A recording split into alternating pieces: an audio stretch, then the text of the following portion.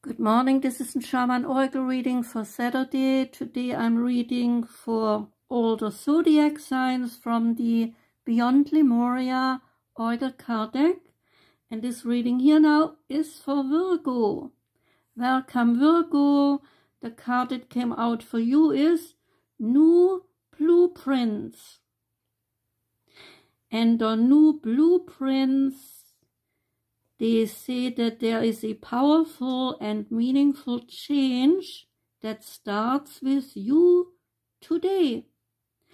And despite our desire for change, sometimes we can get overwhelmed by all that is going on, and this can make a positive impact with regards to our doing impossible but we have more of a voice than we realize.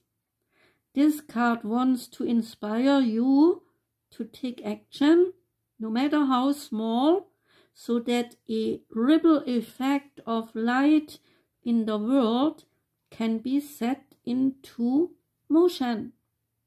You are a part of a bigger picture and of a greater story so your actions, your choices, and your presence all are making a great difference.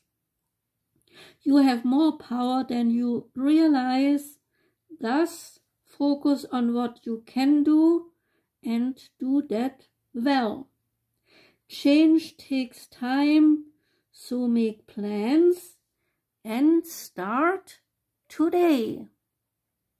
That was your reading, Virgo. I wish you a wonderful Saturday.